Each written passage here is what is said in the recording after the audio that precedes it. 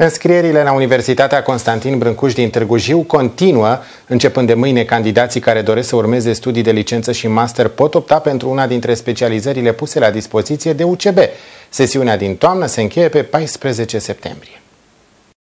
Cea de-a doua sesiune de înscrieri la Universitatea Constantin Brâncuș din Târgu Jiu se desfășoară în perioada 2-14 septembrie. Mai avem câteva locuri bugetate, dar foarte puține, distribuite cam pe aproape toate programele de studii și pentru sesiunea de toamnă și am mai primit și o suplimentare de 10 locuri bugetate uh, acum două săptămâni, pe care sigur le scoatem în concursul uh, de admitere sesiunea din septembrie. În sesiunea din vară s-au înregistrat aproximativ 1000 de candidați înscriși, însă dintre aceștia doar 850 au confirmat locul. Cei care aleg să studieze la UCB UCB beneficiază și de o serie de facilități. Studenții noștri beneficiază de mai multe facilități.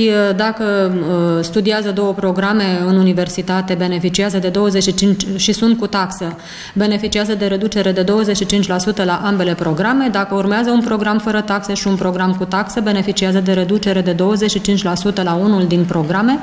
Uh, studenții noștri, foarte mulți dintre ei au burse, de la burse de studiu până la burse de performanță.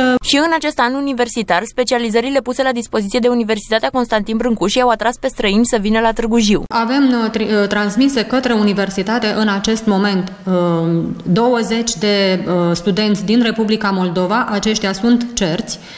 Avem un student repartizat din Serbia și mai avem 8 candidați sunt în acest moment non-UE pentru că ei provin din Bangladesh. Totodată, candidații care urmează cursuri la UCB pot beneficia de cazare la căminele studențești din municipiu.